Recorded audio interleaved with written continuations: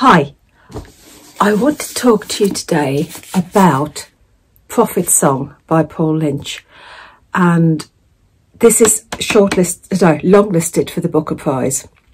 I've a feeling that this will be shortlisted and I think this has the potential to actually win it. Um, did I enjoy it? Um, it is a very dark read. There's no joy, there's no laughter, there's no light. Um, we're in Ireland, and um, it's an island that could be almost within touching distance of where we are today. And I think, I don't think he chose Ireland as um, a place where there's spe- uh, specifically political tensions or anything like that. But I think he chose it to show that these events can happen anywhere, anytime.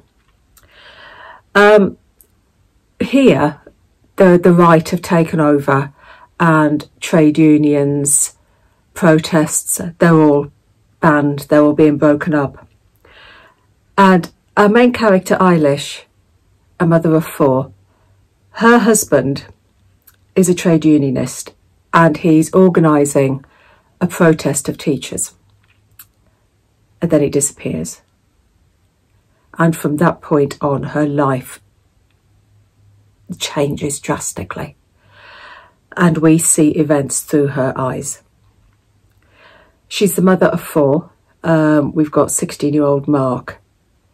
Um, I think Molly is 14 Bailey is 12, and then we've got the baby Ben, who is a late surprise to the family. And alone, she is trying to work. She's a scientist. And she's trying to keep the children together. She's trying to keep the home together. And she's trying to find out where her husband has been taken. She can get, nobody will tell her anything about her husband.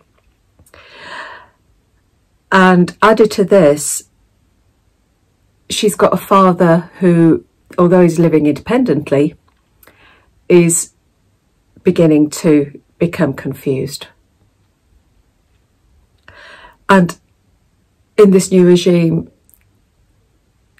the where she works, the owners, the, the, the managers are replaced by people on the right, and she finds herself out of a job. And the right, we, we are coming into it almost a totalitarian scenario where even her son, her 12 year old son, is accused of laughing inappropriately at a teacher. You know, it's, it's that type of thing. And then there's a civil war breaking out.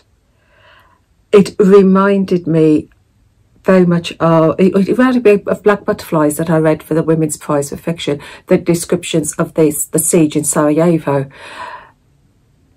the, the, the things that Eilish has to contend with, the, the queues, the no electricity, the no water, you know, that's that type of thing. And everything is unraveling and we've got violence.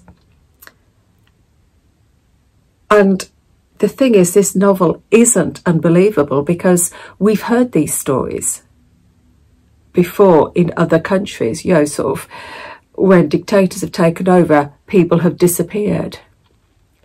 Um, you've got Sarajevo, right down to sort of uh, present day conflicts. We have heard this sort of story before. So what he's talking about is not unbelievable. And you know where uh, yeah people have disappeared because their views don't match those who are in control. These are stories of you know the stories we've heard of different times and different places. But what he does, what the author's done here, is show us in this book that those events can happen anywhere at any time. And that is totally, totally unsettling. It's a very unsettling read. You you are gripped by it because you, you are with Eilish. You you are desperately wanting her to find a husband, to find joy, to find light. And you are gripped by her story and everything that she has to go through. It's not an enjoyable read, it's an unsettling read. And I think this has the potential to win. Uh, on my own list of books that uh, where I like you know, the, my hierarchy of books that I've ranked in orders that I like them. I've still got House of Doors as number one.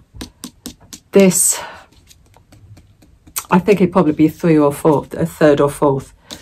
Um, I think this has got the potential to go all the way. So, uh, Prophet Song by Paul Lynch.